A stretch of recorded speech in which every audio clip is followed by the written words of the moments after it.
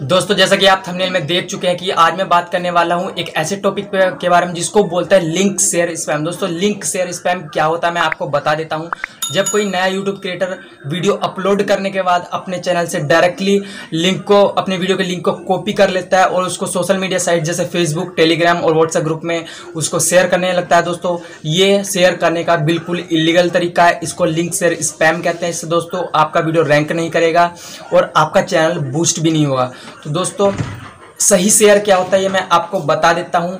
जब कोई आपका वीडियो YouTube सर्च के ज़रिए या ब्राउज फीचर के ज़रिए आपका वीडियो देखता है और उसको आपका कंटेंट अच्छा लगता है तो वो आपके वीडियो को शेयर करता है।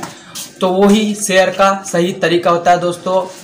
और इसके अलावा अगर आप अपने वीडियो को का जो लिंक है, वो डायरेक्टली अपने चैनल से कॉपी करने के बाद सोशल मीडिया साइट्स पे शेयर करते हैं। तो दोस्तों, ये तरीका बिल्कुल गलत है। इससे आपका चैनल बूस्ट नहीं होगा और आपका वीडियो भी रैंक नहीं होगा दोस्तों। तो दोस्तों, ये गलती आप ना करें दोस्तों।